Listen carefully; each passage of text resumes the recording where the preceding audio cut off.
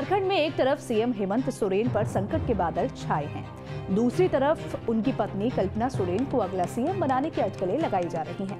कमाल की बात है कि ये दावा राज्य के सत्ताधारी जेएमएम की किसी नेता ने नहीं किया है, बल्कि झारखंड से बीजेपी सांसद निशिकांत दुबे ने किया है। विपक्षी सांसद के इस दावे को बल तब मिला जब मंगलवार को जेएमएम और कांग्रेस विधायकों के साथ कल्पना सोरेन भी दिखाई दी। इसी के साथ कयास लगने लगे कि क्या जैसे 27 साल पहले लालू प्रसाद यादव ने चारा घोटाले में फंसने के बाद अपनी पत्नी राबड़ी देवी को सीएम बनाया था उसी तरह लैंड स्कैम के मनी लॉन्ड्रिंग में फंसे हेमंत सोरेन भी अपनी पत्नी को सीएम बनाकर राजनीतिक दबदबा बरकरार रखेंगे।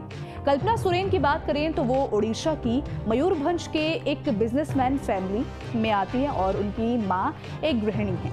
कल्पना सोरेन का जन्म 1976 में रांची में हुआ था। उन्होंने एक प्राइवेट स्कूल में पढ़ाई की है और रांची के एक सरकारी कॉलेज से ग्रेजुएशन किया है।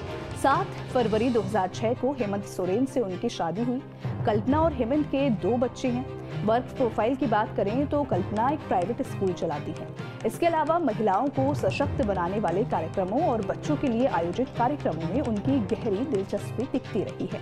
उन्हें इस तरह के कार्यक्रमों में अक्सर देखा जाता है, लेकिन सार्वजनिक मंचों पर वो कम दिखाई देती हैं। आपको यहाँ बता दें कि ऐसा पहली बार नहीं है जब कल्पना का नाम खबरों में आ रहा होगा। इससे पहले कल्पना सोरेन का नाम उस वक्त चर्चा में आया था जब झारखंड के पूर्व सीएम और बीजेपी नेता रघुवर दास ने उन पर आरोप लगाया था कि हेमंत सोरेन ने अपनी पत्नी के बिज़नेस के लिए एक प्लॉट आवंटित करने के लिए अपनी अधिकारों का दुरुपयोग किया है।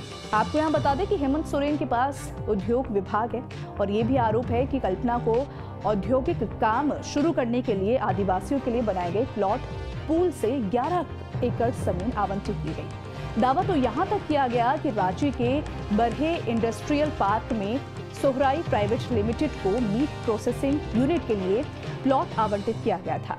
सोराई प्राइवेट लिमिटेड के मालिक कल्पना सोरेन है। रघुवर दास ने आरोप लगाया था कि प्लॉट आवंटित भ्रष्टाचार निवारण अधिनियम की धारा तेरह दो का उल्लंघन है। वहीं हेमंत सोरेन की बात करें तो उनके आवास सहित तमाम ठिकानों पर सोमवार को ईडी की टीम ने दबिश दी। इस दौरान हेमंत सोरेन के गायब रहने की चर्चा हुई। यहाँ तक कि बीजेपी हमलावर हो गई और दावा किया गया कि हेमंत सोरेन भगोड़ा हो गए हैं। झारखंड के राज्यपाल सीपी राधाकृष्णन ने भी डीजीपी से हेमंत सोरेन के बारे में पूछताछ की, लेकिन वो भी कोई जानकारी नहीं दे सके। इन सारे उठापटक में करीब 40 घंटे गायब रहने के बाद हेमंत सोरेन मंगलवार को एक सार्वजनिक कार्यक्रम में नज़र आए। उन्होंने मीडिया के सवालों पर कहा कि मैं था, मैं हूँ और मैं रहूँगा। वहीं इकतीस जनवरी को ईडी के अधिकारियों से मुलाकात करने की बात कही। हालाँकि हेमंत सोरेन कुछ भी कहे, लेकिन जानकारों का दावा है कि उनके बचने की संभावना कम दिखाई दे रही है। ऐसे में कल्पना सोरेन ही उनका महत्वपूर्ण विकल्प हो सकती हैं और कुर्सी संभाल सकती हैं। फ़िलहाल झारखंड के हालातों पर पूरे देश की नज़र बनी हुई है। इसको लेकर आप क्या सोचते हैं? आपकी क्या राय है? कमेंट सेक्शन में ज़रूर बताएँ। वीडियो पसंद आए तो वीडियो को लाइक, शेयर करना ना भूलें। धन्यवाद।